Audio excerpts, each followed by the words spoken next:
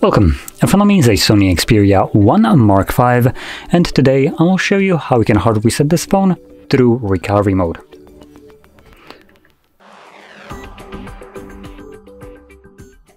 Now, before I get started, I'm going to quickly mention that this process allows you to remove a screen lock. Though I don't have one set, this will still function the same way. Uh, but I guess I can just set it up before we get started.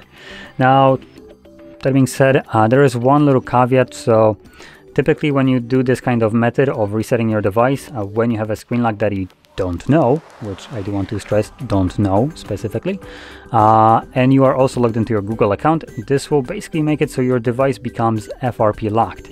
And what FRP lock is, it's basically a lock that will force you to verify either the previous used Google account or screen lock. Uh, when you're going through the setup of the device after the reset.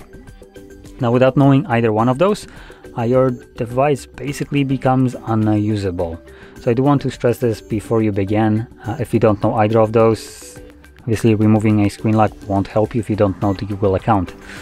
Um, now additionally, I'm gonna mention that for most of the devices, I tend to record bypass of this FRP lock but as of right now for this device it's relatively new.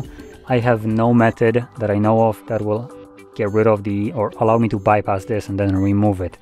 So at this moment I have no way of unlocking the device if I don't know either one of those. So I just want to point that out. Now to get started uh, lock the device and progress from the lock screen as though I wouldn't know my pattern. So number one we're just gonna pull down our notifications, we're going to select the power button and we're going to choose power off. Once the device turns off, we're going to hold the power button and the volume down at the same time. So here and here.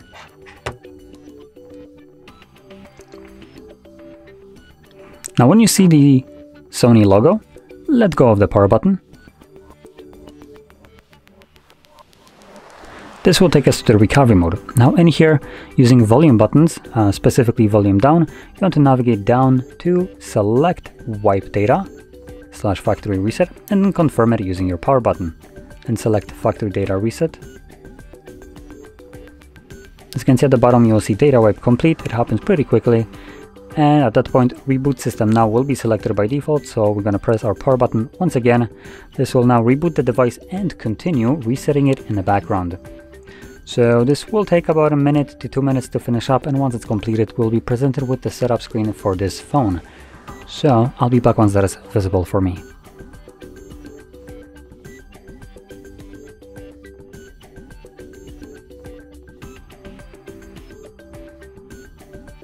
And as you can see, the process is now finished and you can set up your device however you like. Now if you found this very helpful, don't forget to smash that like button, subscribe, and thanks for watching.